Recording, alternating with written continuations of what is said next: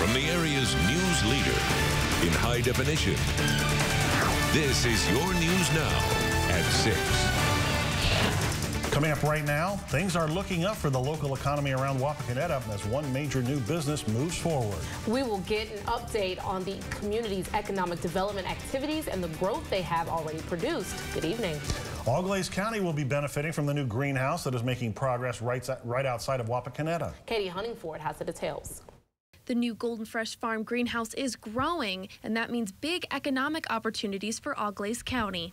The Canadian based company Red Sun Farm says that the greenhouse is coming along thanks to local companies pitching in and helping out with the construction. Progress is going uh, very well. We're, uh, we're extremely happy with uh, all the connections we made with uh, electricians down here and all the utility companies. Uh, a lot better than expected.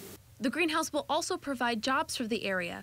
The first phase will have 82 new jobs. If the greenhouse is eventually built out to the full 200 acres, there will be 400 new employees with a $15 million payroll. Welcoming in the new company also gives Wapakoneta a chance to show other companies that investing in the area is a good idea. It's definitely helpful when you can point to a project where a company has chosen your site and can give you a list of reasons why.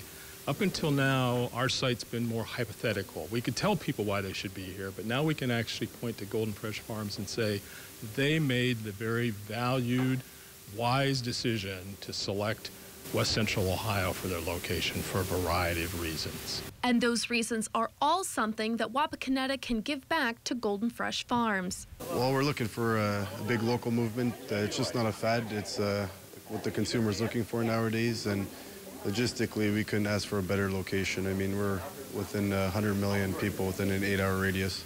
Planting in the greenhouse is expected to begin in January. In Wapakoneta, Katie Huntingford, your news now.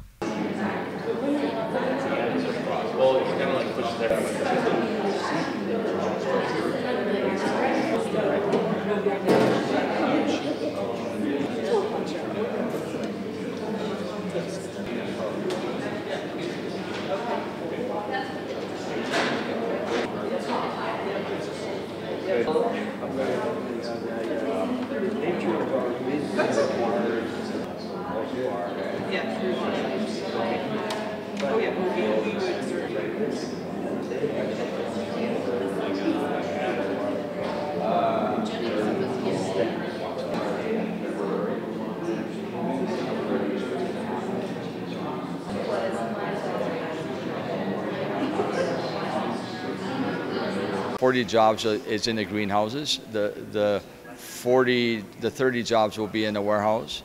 Out of that 30 jobs, 10 jobs are really key positions on running the company.